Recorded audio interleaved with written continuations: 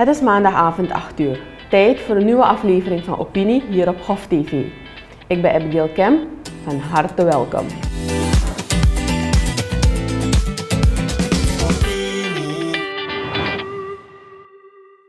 U zult de afgelopen periode veel gehoord hebben over aquaponics. Wat is aquaponics? Aquaponics is een methode om voedsel te verbouwen. Deze techniek staat heden ten dagen bekend als een duurzaam ecosysteem voor voedselproductie, waarbij planten en vissen samengekweekt worden. Vanavond in deze aflevering van Opinie hebben we de ter zake deskundige aan tafel om u meer hierover te vertellen. Kijkt u met me mee.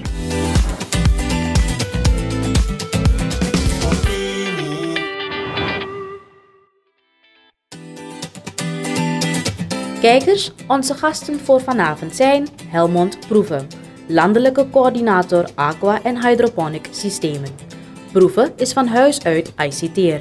Als eigenaar van het bedrijf HydroGrow zet hij zich in om kleine ondernemers te helpen met het starten van een eigen bedrijf en leert hij hen ook de aqua- en hydroponic systemen aan.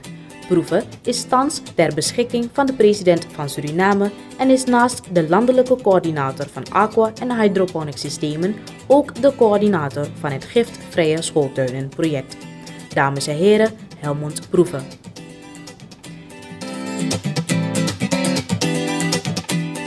Henk Redmond, voorzitter Stichting Father Mother Figure. Redmond is van huis uit bedrijfskundige. Hij is een zelfstandig ondernemer op het gebied van het schrijven van businessplannen en organisatieverandering. Redmond heeft ruime ervaring in gezincoaching en biedt dit aan vanuit de stichting. Dames en heren, Henk Redmond.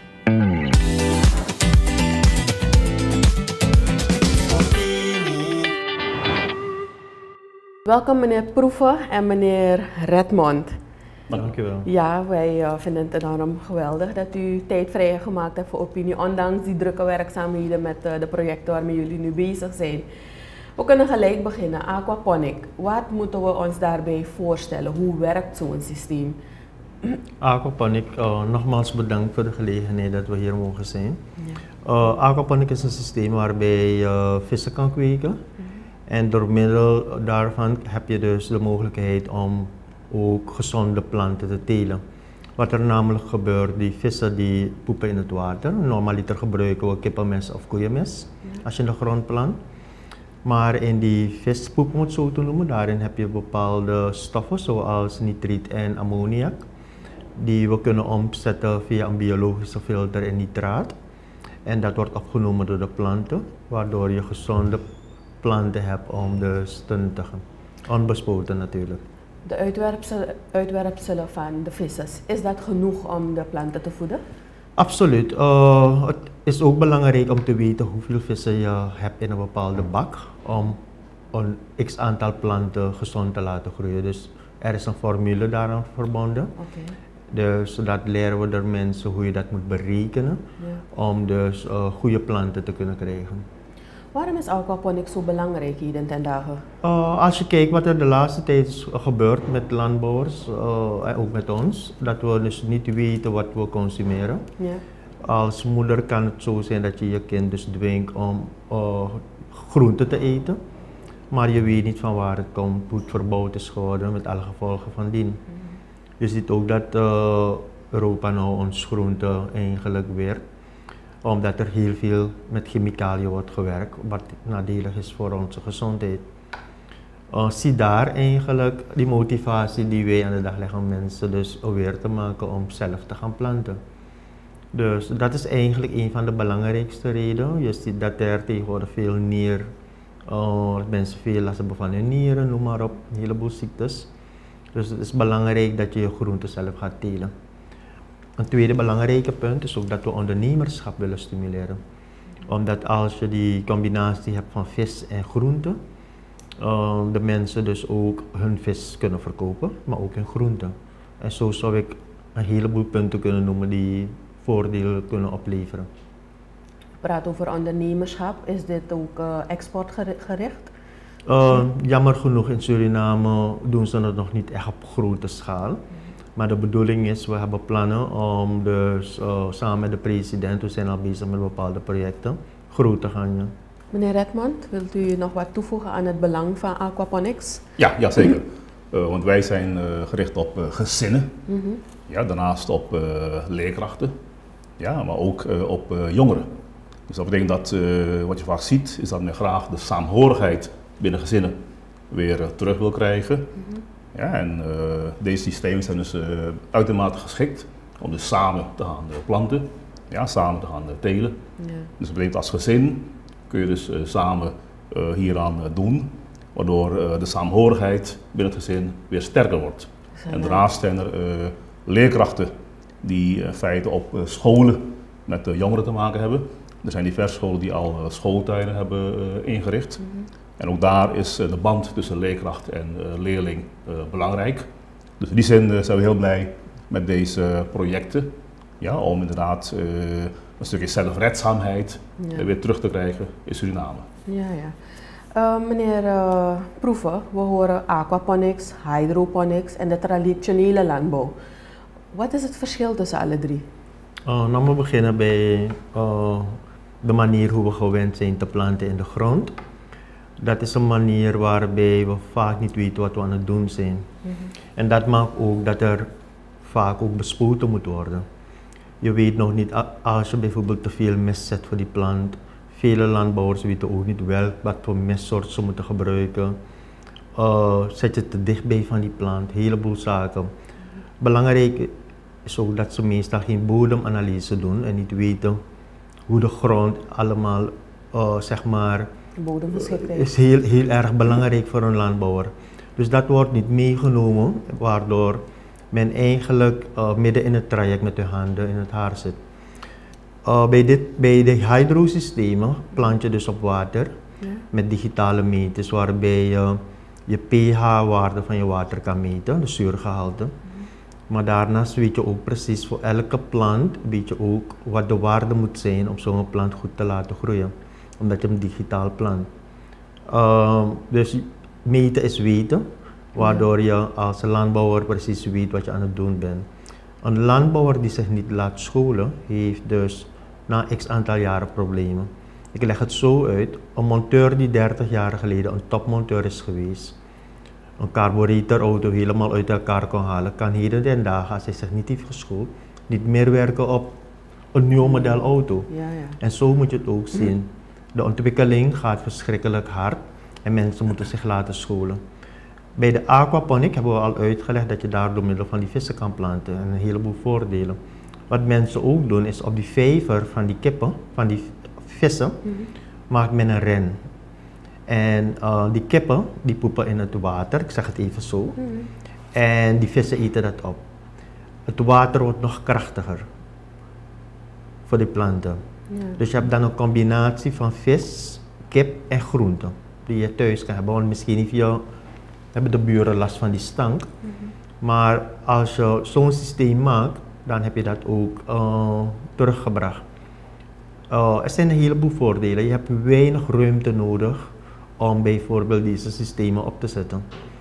Vaak genoeg hoor je, ik wil planten, maar ik heb geen erf. Nou, je kan tegen je schutting een green wall maken. Dus je hebt heel weinig ruimte nodig.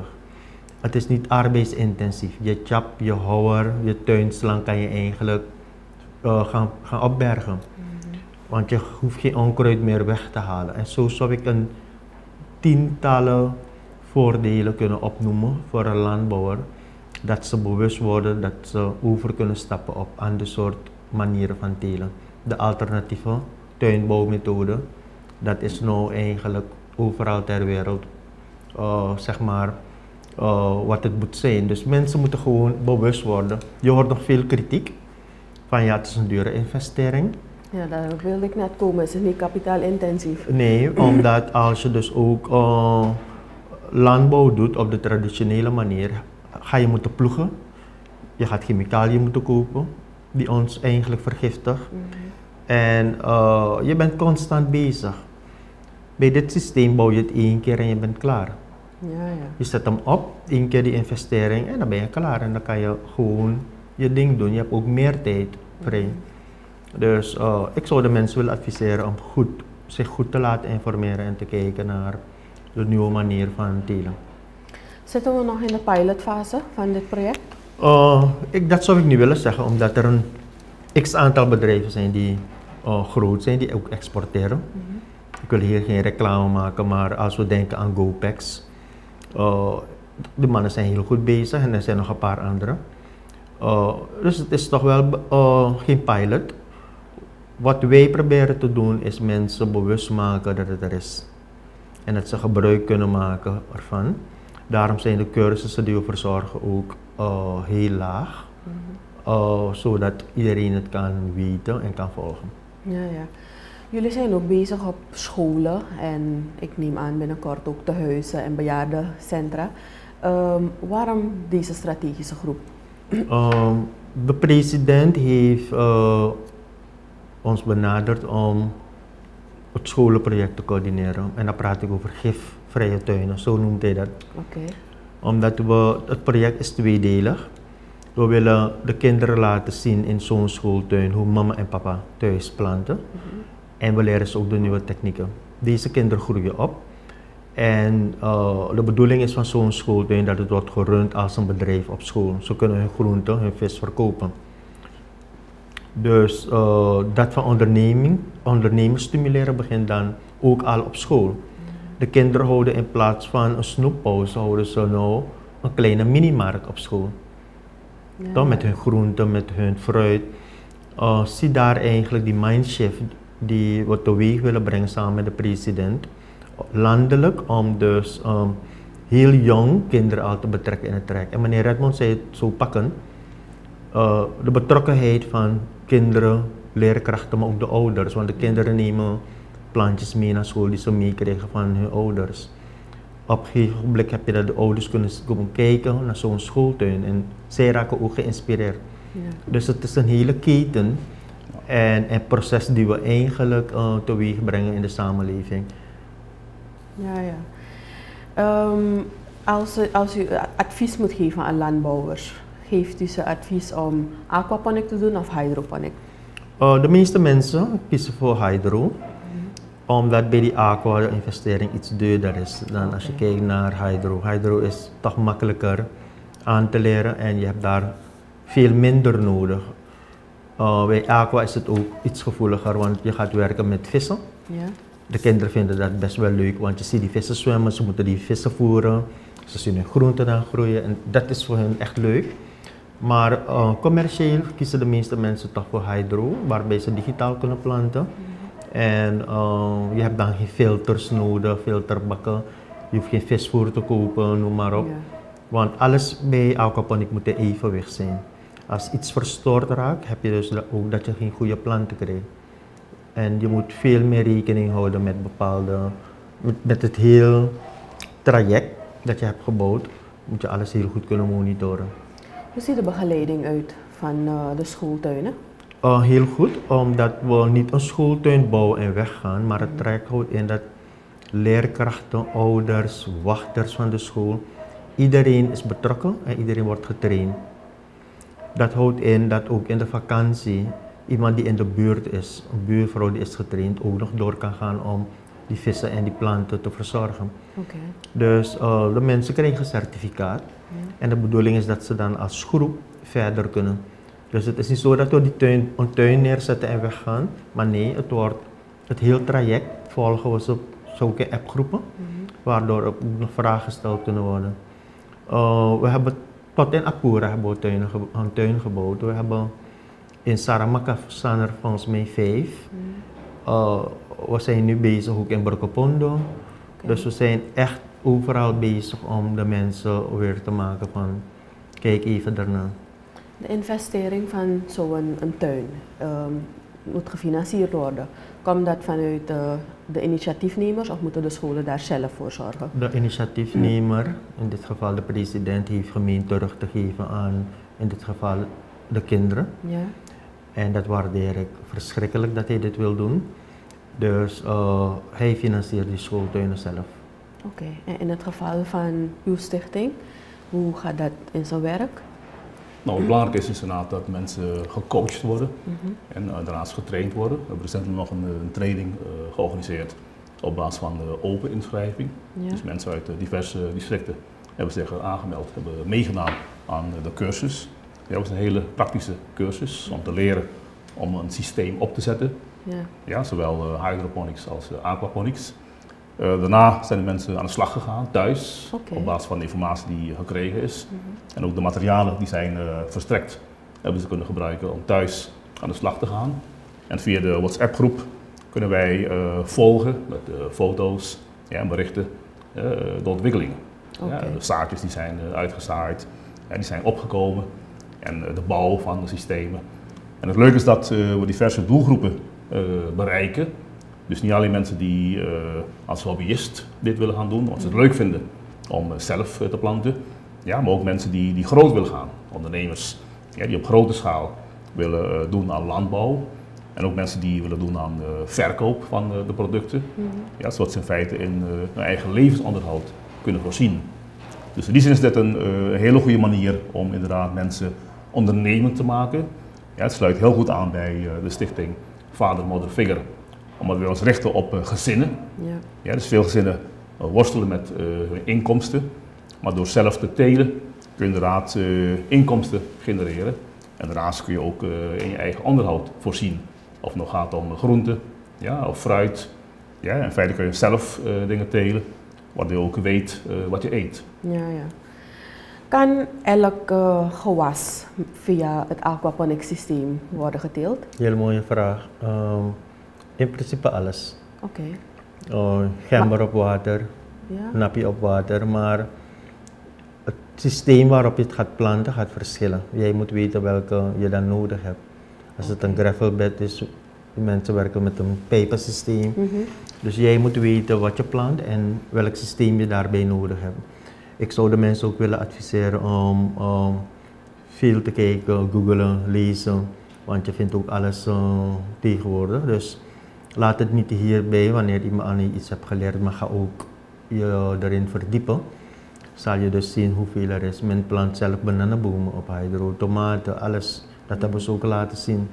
Dus tegenwoordig kan je echt alles doen. Oké. Um, als we kijken, u zegt alles kan geplant worden. Hoe staat het met de kwaliteit, de smaak van zulke voedselproducten? Verschilt het? Nou, hetzelfde. De, de sla die, uh, die we overal kopen, de meeste sla is op hydro geplant. Mm -hmm. Ik heb thuis Bitawiri op water geplant. Nou is just the same. We hebben oker op water. Ik heb marcousa op water geplant. Het is precies hetzelfde. Ik heb laatst een mevrouw van LVV marcousa laten proeven. Mm -hmm. Want proef je een verschil niet. We hebben soepgroenten op water. Dus Tegenwoordig heb je geen zand nodig. En dan moet ik dit even vertellen. Het is geen technologie die wij hebben ontdekt. Het is iets dat de Mayas en de Incas vanaf toen al wisten dat waren visrijke gronden waren die daar kon planten. En die, dat laten we ook zien tijdens zo'n presentatie. Ze wisten, uh, ze hadden van die drijvende tuinen en ik dacht dat misschien de mensen toen ook last hadden van die draagmeren waar ze gingen planten, die stammen. Ja, ja. Dus hun tuinen werden eigenlijk als meertjes aangelegd in zwampen. Uh, ze gingen dan met hun bootje daar naartoe. En dan zie je ook tijdens de presentatie dat er ganzen en doksen zwemmen in zo'n zwam. Waardoor het water ook krachtig Dus ze hadden al de wetenschap dat het goed was. Wat wij doen, we hebben het gewoon verfijnd door middel van moderne filters, noem maar op, die je overal kan krijgen of zelf bouwen. Ja, ja. Dat is allemaal interessant. de mogelijkheden die er nog zijn voor Suriname als het aankomt, aankomt op aquaponics. Kunt u die misschien beschrijven? Oh, het is een grote uitdaging, omdat um, je weet elke verandering die je uh, wil uh, zeg maar introduceren, zal je stuiten ook op verzet en ja. het, het, zal zeker moeilijk gaan. Maar wij blijven nuchter en positief, omdat we de resultaten ook zien. We evalueren vaak, we praten met elkaar en je ziet dat het toch wel veel mensen aanspreekt. Toen de president toen had gesproken over die voedselscheur, mm hebben velen gelachen. En men dacht van, het is een sprookje. Maar naderhand ziet men dus nu dat we dichterbij komen. Alleen moeten zaken dus goed geregeld worden. Ik bedoel, uh, zaken moeten dus toch wel makkelijker uh, bereikbaar zijn voor zeg maar, een landbouwer. Als je kijkt naar de meters, moeten we die nog laten invliegen. Mm -hmm. Maar wil je dit promoten, dan zou je de metertjes eigenlijk overal moeten kunnen kopen. Ja, ja. Dus uh, niet alleen die meters, maar ik praat dan dus nu voor de landbouwer dat het makkelijker is dat hij aan zijn producten kan komen tegen een goede prijs. Om zo ook te kunnen concurreren. Maar ook de afzet is belangrijk. Want we kunnen dus zeggen van ga planten, maar wat doe je op een blik met de producten? Uh, wat wij ondernemers leren, dat je creatief moet zijn. De meeste ondernemers willen precies doen wat meneer A of meneer B doet. Dat moet je niet willen. Je moet proberen toch wel te kijken, marktonderzoek te doen en kijken van, moet ik niet iets anders gaan doen? Moet ik niet in plaats van die soepgroenten zo verkopen, een bijproduct maken om bijvoorbeeld soepgroentepoeder te maken? Mm En dat is ook al nu in het buitenland booming. Ja. Uh, men maakt nu ook die, die van peper, weet je, die, die van van peper, dat soort zaken. Het is langer houdbaar en je, je krijgt zeker veel meer uit. Dus creativiteit zal de ondernemer laten, uh, op een laten overleven. En uh, on, kijk, de meeste mensen willen ook beginnen om, om hun eigen onderneming te starten. Ja. Maar als je met twijfels begint, als je, geen, als je niet zelfverzekerd bent in wat je doet, hoef je niet te starten. En die tools geven we ze waarbij we ze leren om uh, met zichzelf bezig te zijn en uh, die zelfvertrouwen te hebben in wat ze doen en weten wat ze doen geloof ik wel dat je succes krijgt. Want dat zien we ook, dat doen wij ook. Beide zijn wij succesvolle zakenmannen. En ik blijf erbij, het is uh, weten wat je doet. Ja, ja en erop aansluitend is dat wij inderdaad uh, iets uh, terug willen geven aan de samenleving. Dus daarom zijn de cursussen die we organiseren ook laagdrempelig. Mm -hmm. Dus ieder die is in staat om mee te doen. Ja, en bij de één dag ja, ben je getraind. Ja, je krijgt gelijk je materialen ter plekke. Okay. En je gaat naar huis en dan kun je in feite aan de slag. En wat belangrijk is, is inderdaad die, die nazorg. Dus, dus die begeleiding, zodat mensen als ze vragen hebben, mhm. ja, die vragen gewoon kunnen stellen en meteen uh, antwoord krijgen. Ja. ja, Ik vraag me zo af, um, het, is een, het is een systeem dat er eigenlijk reeds jaren bestaat, uit de oudheid, maar het heeft nu zeg maar een boost gehad. Hoe, hoe kijken de traditionele landbouwers daarnaar? Uh, ik heb het aan het begin ook al uitgelegd dat het uh, voor hun, uh, je hebt iets 40 jaar op één manier gedaan om dus nu te zeggen van ik ga het anders doen. Mm -hmm. Ik begrijp wel dat het voor hun ook wel moeilijk is, die acceptatie van hey, we moeten het gaan veranderen. Maar ze gaan op een gegeven moment gedwongen worden, om het zo te zeggen, om toch wel een andere richting uit te kijken, omdat plant, als je in de grond plant, een grond is een bron van ziekte en plagen. Ja. Je hebt meren, je, zo kan ik doorgaan. Dus je gaat om biologisch te planten, uh, echt biologisch, ga je echt uh, die wetenschap moeten hebben om het echt goed te doen. Om goede producten te hebben. En het probleem is, je kan zeggen ik plant biologisch, ook bij hydro. Maar als mijn buurman drie huizen verder of twee huizen verder met een of ander middel bezig is te spuiten en het waait over en het komt ook op mijn groente, de vraag is, is het nog biologisch? Mm -hmm. Toch, want er is bijna geen wetgeving en controle daarop. Dus dat is een vraag, een denkvraag, want ik, zeg mensen dit vaak, want vaak genoeg horen, ja, ik, ik, heb biologische groenten, maar hoe biologisch is het? Ja. Uh, een andere vraag is ook van, uh, mensen zeggen ook tegen ons, die meststoffen, is dat geen, uh, zijn het geen uh, zaken als uh, chemicaliën die erin zitten en chemische producten. Ik leg ze zo uit, als je dus kijkt bijvoorbeeld wanneer je erg ziek bent en je ligt in het ziekenhuis, krijg je dus die infuus levenswater die jou weer gezond moet maken.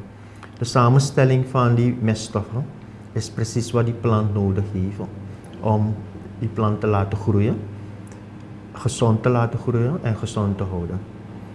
Uh, als je suiker zou oplossen in een glas, is ook een chemisch proces die daar plaatsvindt. Mhm. Is het giftig?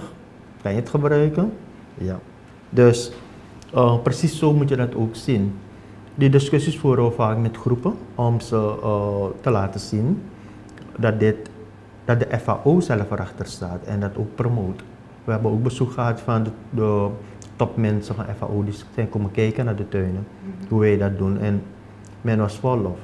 Dus die mindshift moet echt gemaakt worden om mensen bewust te maken van je gaat vroeg of laat toch wel moeten kijken van hoe je aan... Kijk, zaken als taierblad plant ik allemaal op water.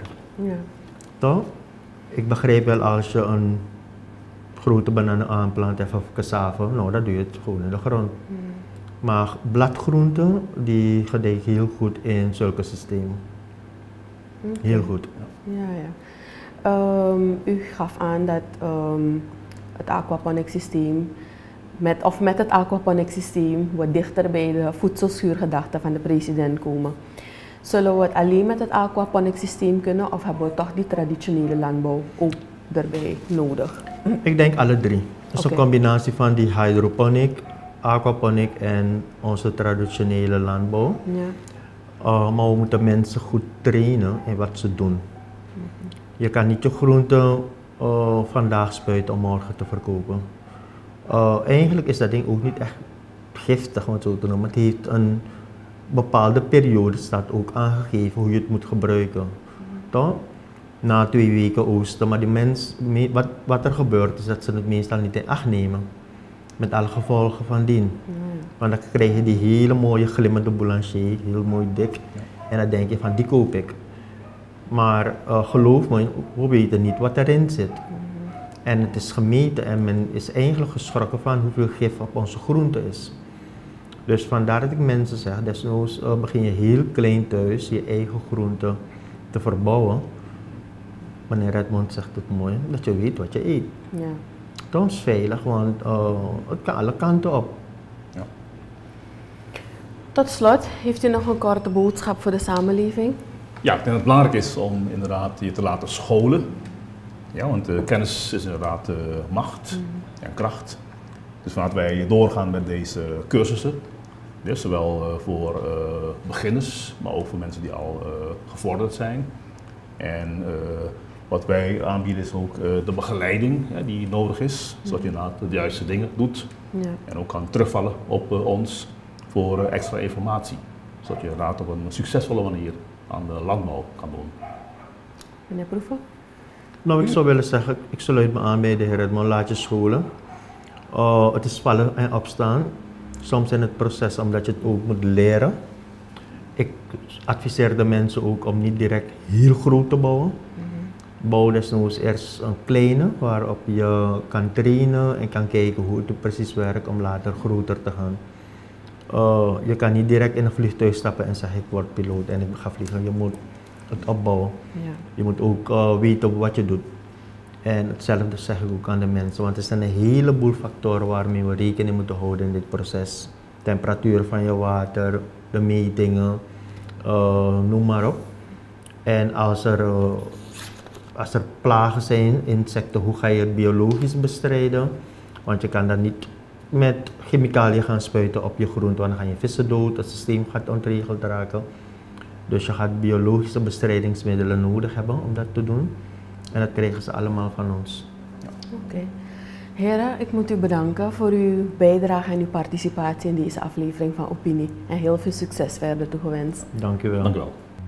Dat was het dan weer voor deze aflevering van Opinie. De herhaling hebben we op de woensdag en de vrijdagavond telkens om 8 uur. Wilt u de aflevering alsnog bekijken omdat u het zo interessant vond, dan kan dat altijd op de YouTube-channel van het Nationaal Informatie Instituut. Ik bedank u voor uw aandacht. Goedenavond.